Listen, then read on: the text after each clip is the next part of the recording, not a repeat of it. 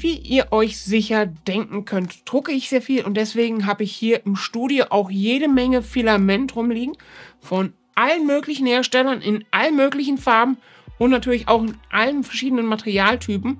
Und da den Überblick zu behalten, also das hier ist zum Beispiel mal nur die Spitze vom Eisberg hier im Studio, wo die liegen, wie viel ich davon noch habe, ist natürlich ziemlich schwierig. Und wenn es euch genauso geht, dann habe ich eine Lösung dafür, nämlich Spoolman.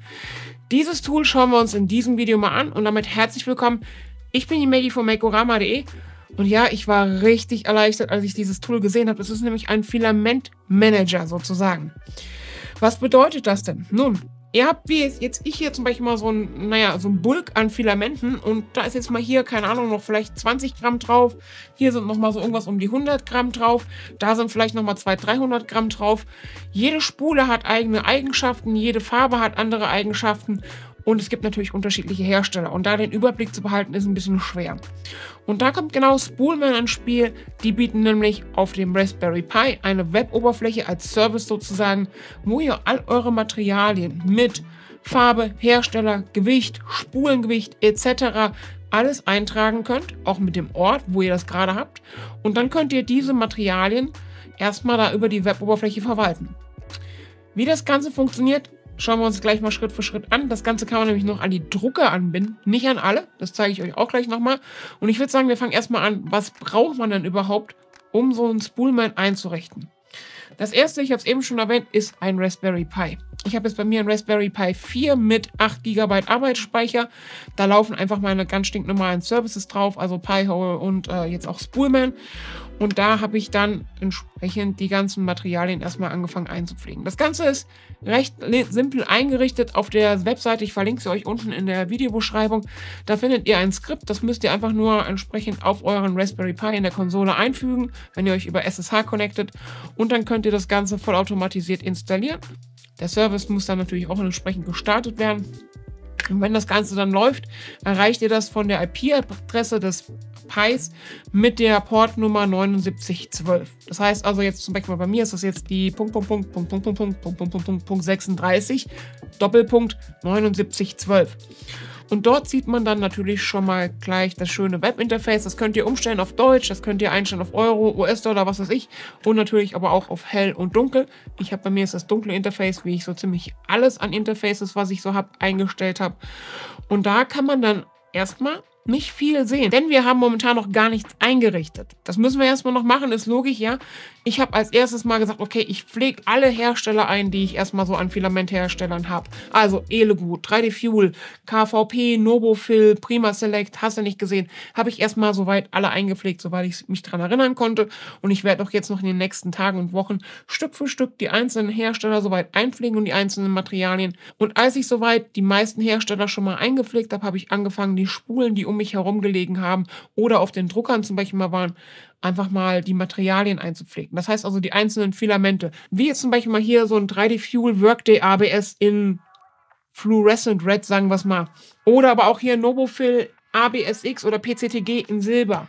Oder aber auch in Elegroup PLA in Schwarz. Bevor wir aber weitermachen, möchte ich mich gerne nochmal bei unserem heutigen Sponsor PCBWay bedanken. Auf PCBWay.com könnt ihr nicht nur kostengünstig Halbleiterplatinen herstellen lassen, inzwischen gibt es dort auch weitere Services wie zum Beispiel mal C&C-Fräse, Blechbearbeitung, Spritzguss oder aber auch 3D-Druck. Und in Zusammenarbeit mit PCBWay habe ich mir ein Toolhead für meinen nächsten Voron Zero herstellen lassen. Das Ganze aus Nylon im 3D-Druckverfahren und auch noch zweifarbig.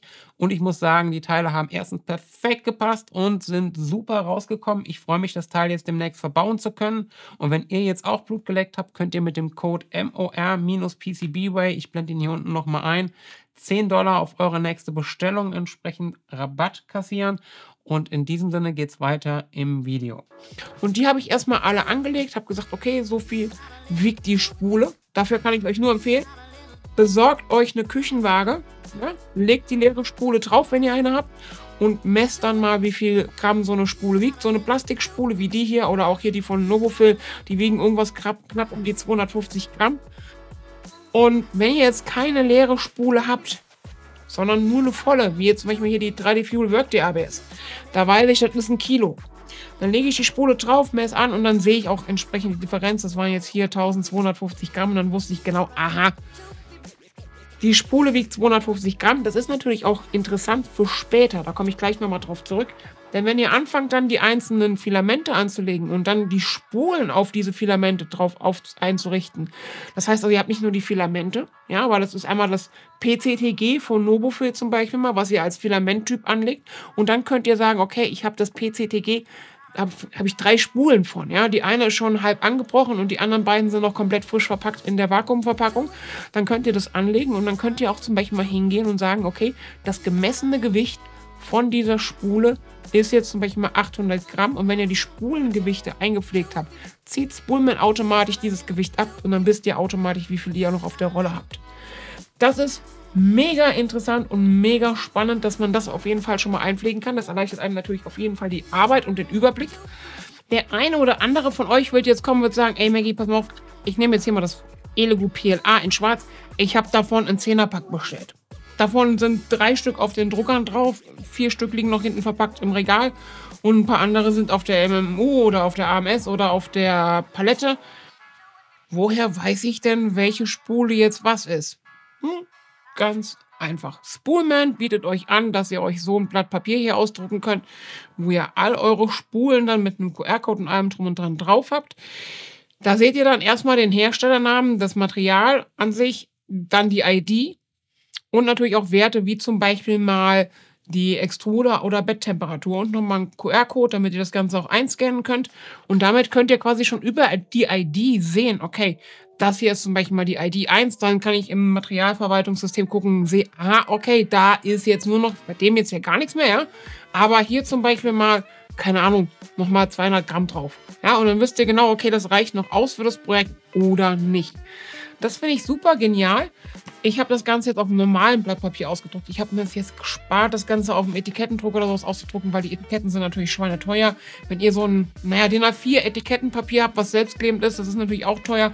Da ist die Frage, lohnt sich das Ganze? Je nachdem, welches Material ihr verwendet. Wenn ihr das schnell durchhaut, ist das natürlich unlogisch, dass ihr das macht. Aber wenn ihr sagt, okay, ihr habt jetzt da keine Ahnung, so ein Material, was ihr einmal im Quartal rausnehmt, dann ist das vielleicht durchaus sinnvoll, dass ihr sagt, okay, ich packe mal so ein Etikett, so ein selbstklebendes drauf, damit das halt auch wirklich fest drauf ist und damit ihr da keine Probleme habt. Finde ich eine coole Idee. Werde ich jetzt auch auf alle meine Spulen packen, damit ich jederzeit weiß, wo welches Material ist. Und ich werde mir auch überlegen, wie ich unten und hier oben im Studio, hinterm Schreibtisch und überall die ganzen Filamente und auch die ganzen Lagerblacks irgendwie beschrifte, damit ich weiß, okay, Lagerplatz 1a ist dann entsprechend das E-Logo PLA in schwarz oder das Prima Select ASA in dunkelblau. Das werde ich jetzt nochmal machen. Und finde ich eine super Lösung. Und wenn ihr jetzt kommt und sagt so, ja, Maggie, ist ja alles gut und schön.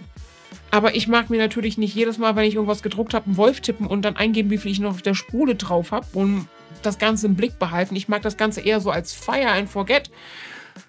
Geht natürlich auch. Ihr könnt das Ganze noch, jetzt auf Clipper habe ich es zum Beispiel mal auf dem K1C und auf dem K1, da bin ich auch auf die Idee gekommen, das Ganze mal einzurichten, weil ich natürlich in dem Helper-Skript irgendwo einen Querverweis auf Spoolman gesehen habe. Und da habe ich gesagt, okay, das probiere ich einfach mal aus. Und da bin ich auf die Idee gekommen, zu gucken, wie kann ich das denn einrichten. Beim Clipper geht das ganz einfach. Ihr müsst einfach nur in der Moonraker-Config oder in der eigenen Konfigurationsdatei, wie ich es jetzt gemacht habe, erstmal die IP-Adresse von eurem Spoolman-Server eingeben, von eurem Spoolman-Service. Natürlich mit der Portnummer, die dürft ihr nicht vergessen.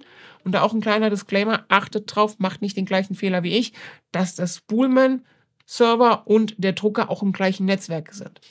Und wenn ihr dann zum Beispiel mal ein WLAN-Netzwerk und ein kabelgebundenes Netzwerk habt und die IP-Adressenbereiche unterschiedlich sind, ja, kann auch bei zwei kabelgebundenen Netzwerken so sein, dann kann es sein, dass Moonraker euch einen Fehler auswirft, weil er dann den Spoolman-Server nicht findet.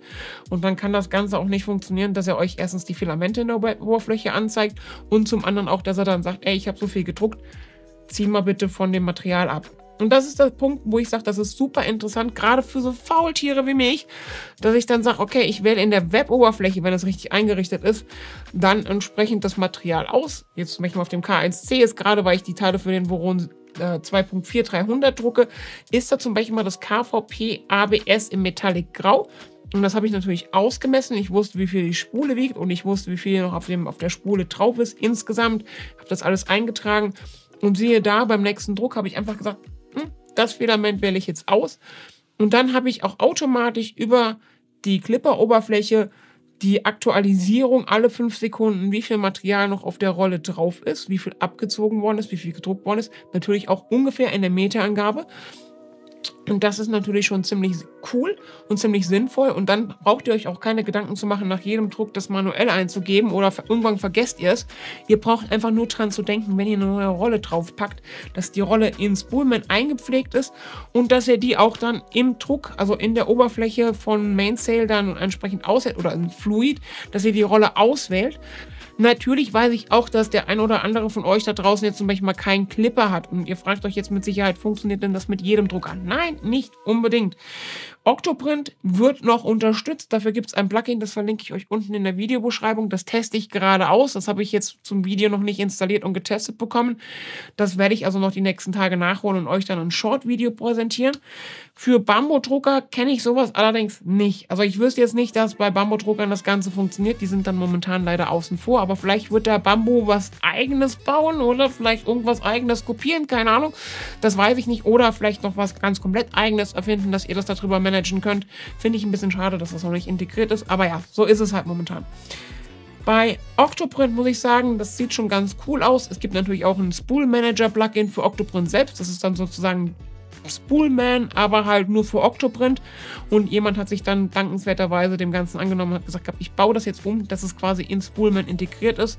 Ob das Ganze so gut funktioniert, weiß ich noch nicht. Auf der Dokumentationsseite oder auf der äh, Projektseite von Spoolman steht, dass das Ganze noch in Entwicklung ist. Deswegen finde ich, ist es noch ein bisschen mit Vorsicht zu genießen. Aber wir wissen alle, mit der Zeit kommt das und mit der Zeit wird das auch ordentlich und stabil entwickelt. Und damit wären wir schon am Ende des Videos angekommen. Ich hoffe, es hat euch ein bisschen weitergeholfen. Wenn ja, lasst einen Daumen nach oben da. Wenn ihr solche Videos nicht verpassen wollt, würde ich mich tierisch freuen, wenn ihr den Kanal abonniert. Und natürlich auch ein großes Dankeschön an meinen Sponsor PCB eBay und an meine Patreon und Supporter auf YouTube, die mich immer mehr unterstützen. Und von daher vielen lieben Dank. In diesem Sinne, Hodl the Line, Happy Printing und ciao.